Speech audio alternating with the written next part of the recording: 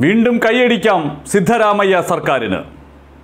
ജനാധിപത്യത്തെയും മതേതരത്വത്തെയും തിരികെ കൊണ്ടുവരുമെന്ന തെരഞ്ഞെടുപ്പ് വാഗ്ദാനം പാലിക്കുന്നതിന്. ബി ജെ പി കൊണ്ടുവന്ന സംഘി നിയമങ്ങളൊക്കെയും കുട്ടയിലേക്ക് വലിച്ചെറിയുന്നതിന്. ഏറ്റവും ഒടുവിൽ രണ്ടായിരത്തി ഇരുപത്തിരണ്ടിൽ ബി ജെ പി സർക്കാർ കൊണ്ടുവന്ന മതപരിവർത്തന നിയമവും വേണ്ട എന്ന് വയ്ക്കാൻ തീരുമാനിക്കുകയാണ് സിദ്ധരാമയ്യ സർക്കാർ. മതപരിവർത്തനം കുറ്റകരമാക്കുന്ന നിയമം. ന്യൂനപക്ഷങ്ങളെ വേട്ടയാടാൻ നിയമത്തിന്റെ കൂട്ടുപിടിച്ച ബി ജെ പിക്കാരുടെ ആ കൊടും ചതിക്കെതിരെ ഞങ്ങൾ അധികാരത്തിൽ വന്നാൽ പ്രതികരിക്കുമെന്ന് അന്നു തന്നെ നിയമസഭയിൽ വോക്കൗട്ട് നടത്തി കോൺഗ്രസ് നേതാക്കൾ പ്രഖ്യാപിച്ചിരുന്നതാണ്. ഇതാ മന്ത്രിസഭാ യോഗത്തിൽ ആ തീരുമാനമുണ്ടായിരിക്കുന്നു. ബി ജെ പി സർക്കാർ കൊണ്ടുവന്ന രണ്ടായിരത്തി ഇരുപത്തിരണ്ടിലെ മതപരിവർത്തന നിയമം റദ്ദാക്കുകയാണ്. ആ മതപരിവർത്തന നിയമപ്രകാരം ഏതെങ്കിലും രക്തബന്ധമുള്ള ആളുകൾ പരാതി കൊടുത്താൽ പോലും ഈ മത മാറ്റത്തിന്റെ പേരിൽ കേസുകൾ എടുക്കാമെന്നാണ്. രണ്ട് മതവിഭാഗത്തിൽപ്പെട്ട ആളുകൾ വിവാഹം ചെയ്താൽ അതിൽ ഒരാളിന്റെ വീട്ടുകാർ ആരെങ്കിലും പരാതി നൽകിയാൽ ആ വിവാഹം റദ്ദു ചെയ്യാമെന്നാണ്. വലിയ ശിക്ഷ ഉറപ്പാക്കുന്ന നിയമം. ഗോവധ നിരോധന നിയമവും മതപരിവർത്തന നിയമവുമൊക്കെ ന്യൂനപക്ഷങ്ങളെ വേട്ടയാടുന്നതിന് വേണ്ടി ബി ജെ പിക്കാർ അവർ ഭരിക്കുന്ന ഇടങ്ങളിൽ കൊണ്ടുവരുന്ന നിയമങ്ങൾ.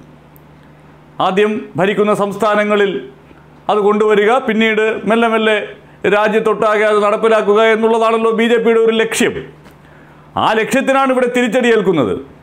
ബാക്കിയുള്ള ഇടങ്ങളിലും സംഭവിക്കാൻ പോകുന്നത് എന്ത് എന്നുള്ളതിന്റെ സൂചന. ഇത്തരത്തിലുള്ള മതപരിവർത്തന നിയമവും ഗോവധ നിരോധന നിയമവും ഒക്കെ നടപ്പിലാക്കിയിട്ടുള്ള ബി ജെ പി ഭരിക്കുന്ന സംസ്ഥാനങ്ങളിൽ ഒരു അധികാരമാറ്റം ഉണ്ടായാൽ അവിടെയൊക്കെയും ഇതുപോലെ തിരുത്തലുകൾ ഉണ്ടാകും എന്നുള്ള പ്രഖ്യാപനം കൂടിയാണ് കർണാടക നടത്തുന്നത്. യഥാർത്ഥത്തിൽ തെക്കേ ഇന്ത്യ ഈ രാജ്യത്തിന് പിന്നെയും മാതൃകയാവുകയാണ്. ബി ജെ പിയുടെ ദുഷിച്ച നിയമങ്ങൾക്കെതിരായ ബി ജെ പിയുടെ പാഠപുസ്തകങ്ങളുടെ സംഖ്യവൽക്കരണത്തിനെതിരായ കൃത്യമായിട്ടുള്ള സന്ദേശം. പാഠഭാഗങ്ങളിൽ ആർ എസ് എസ് സ്ഥാപകന്റെ ഒക്കെ ചരിത്രം എഴുതി വച്ചു. ധീര ദേശാഭിമാനികൾ എന്ന് പറഞ്ഞ്. ഇന്ത്യൻ സ്വാതന്ത്ര്യ സമരത്തിന്റെ പ്രോജ്വലമായ ഏടുകൾ വെട്ടിമാറ്റി ആർ എസ് എസ് നേതാക്കന്മാരെ പഠിക്കാൻ പാഠപുസ്തകങ്ങളിൽ ഭാഗങ്ങൾ ഉൾപ്പെടുത്തിയ ബി ജെ പിയുടെ നടപടിയെയും റദ്ദു ചെയ്തിരിക്കുന്നു സിദ്ധരാമയ്യ സർക്കാർ. തിരുത്തലാണ്. ജനാധിപത്യത്തെയും മതേതരത്വത്തെയും തിരികെ പിടിക്കലാണത്. ബാക്കി എന്തൊക്കെ വലിയ ജനകീയ പ്രവർത്തനങ്ങളും വികസന പ്രവർത്തനങ്ങളും നടത്തിയെന്ന് പറഞ്ഞാലും ബി ജെ പി സർക്കാർ കൈക്കൊണ്ട ഈ സംഘിത്തരങ്ങൾ കാടൻ നിയമങ്ങൾ അതെടുത്തു കളയുക എന്നത് ധീരമായ ഒരു നിലപാടാണ്. ആ നിലപാടിനോടൊപ്പം ഈ രാജ്യത്തെ ജനാധിപത്യ മതേതര വിശ്വാസികൾ ഉറച്ചു നിൽക്കുമെന്നുള്ള കാര്യത്തിൽ സംശയമില്ല. രാഷ്ട്രീയത്തിനപ്പുറം കൈയടിക്കേണ്ടുന്ന ഒന്നാണ്.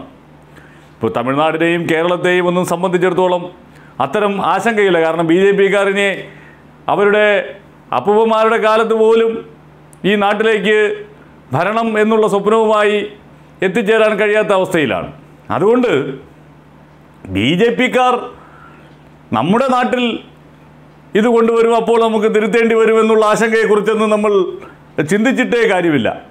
അങ്ങനെ ബി ജെ പി ഭരിച്ചിരുന്ന ഇടത്തൊരു അധികാരമാറ്റം ഉണ്ടാകുമ്പോൾ അവർ കൊണ്ടുവന്ന കാടൻ നിയമങ്ങളെ കാട്ടിലെറിയാൻ ചങ്കൂറ്റം കാണിക്കുന്നു എന്നുള്ളതാണ് കർണാടകയെ ഈ പ്രത്യേക രാഷ്ട്രീയ പരിസരത്ത് ഏറ്റവും ശ്രദ്ധേയമാക്കി നിർത്തുന്നതും സിദ്ധരാമയ്യയ്ക്കും ഡി കെയ്ക്കും ആ മന്ത്രിസഭയിലെ അംഗങ്ങൾക്കുമൊക്കെ നമ്മൾ നിറഞ്ഞ കയ്യടി കൊടുക്കേണ്ടതും.